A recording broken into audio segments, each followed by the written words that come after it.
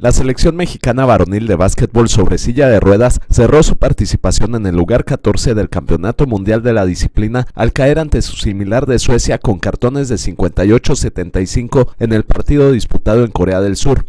En el juego para definir las posiciones 13 y 14, Suecia arrancó efectivo en la duela y no permitió mucho a los mexicanos para llevarse el encuentro con parciales de 16-12, 20-17, 17-12 y 22-17 durante los cuatro periodos. Pues es eso que hablamos en vestidores, dijimos que podemos perder partidos, podemos perder campeonatos, pero algo que no tenemos derecho a perder es la actitud y fue lo que rescatamos y se logró al, fin al final de este torneo. Eso fue lo más importante, la actitud.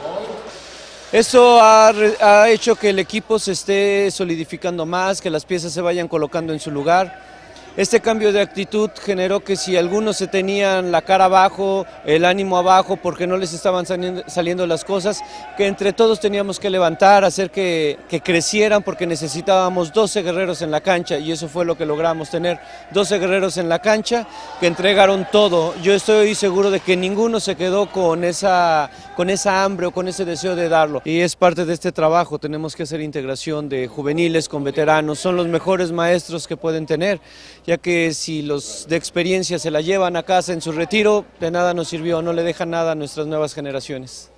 Edgar Perdomo, con 16 puntos y 4 rebotes, dio un buen juego para México, mientras que Salvador Zavala contribuyó con 14 unidades y 3 rebotes. En otros resultados, Holanda dio cuenta de Argelia 59-38 y terminó ubicado en la posición 15. Argentina perdió contra Alemania 61-62 para quedar en la posición 11 y Colombia fue superado por Japón 56-65 que se ubicó en el noveno sitio. Para nuestra visión noticias, informó Gerardo Espinosa.